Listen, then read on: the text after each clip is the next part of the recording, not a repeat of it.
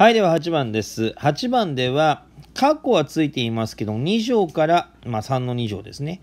2乗から2乗を引くという形になっているので、えーこちらの因数分解は非常に簡単にできます。例えば、えーマイナス3、あ、プラスから書きましょうか。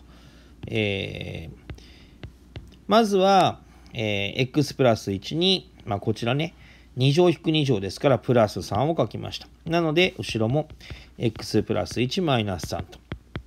あとは、これを合わせてあげれば出来上がりというやつになっています。2番も全く一緒です。36は6の2乗ですから、x プラス y プラスの6。x プラス y マイナス6で出来上がりということになっていました。括弧が後ろにあっても一緒です。x プラスの y マイナス3。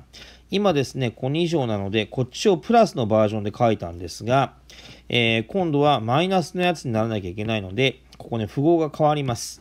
えーマイナス y プラスの3ですね。4番です、えーこちらなんですけれども、ちょっと中括弧つけましょうか。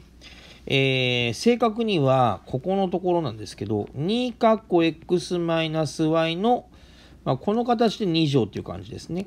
これ全部が。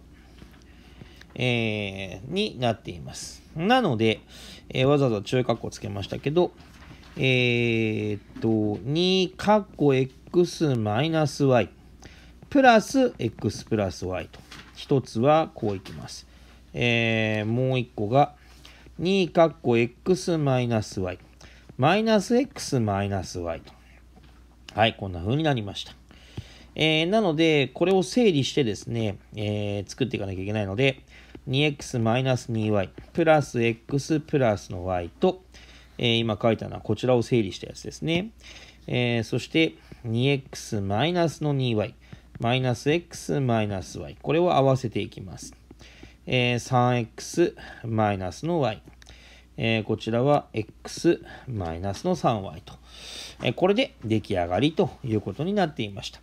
まあ、とにかく、うーなんとかの2乗引く、うーなんとかの2乗となっていれば、丸足す四角、丸引く四角になっているので、ここのとこですね、この引くの時に符号が変わると、まあ、今で言ったら、あこいつですね。